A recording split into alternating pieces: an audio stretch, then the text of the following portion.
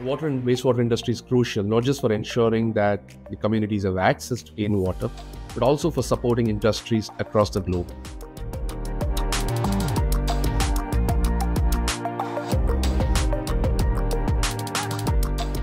I still think energy is the biggest challenge. Um, uh, it takes a lot of energy to treat water, to treat wastewater.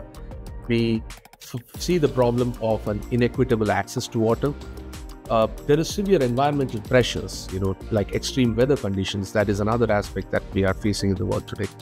We are also dealing with another big issue with aging infrastructure.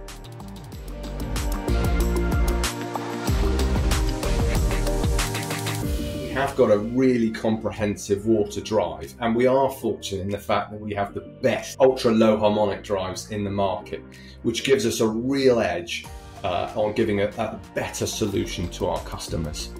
Start with the base, the whole sensing layer. Um, whether it is uh, the extremes of measuring the smallest possible flow in water networks to enable detect leaks 10 times faster, or being able to achieve what, what, what would usually be done in a water quality measurement inside a lab, bring it real time with our, let's say, UV Tech range of water quality analyzers.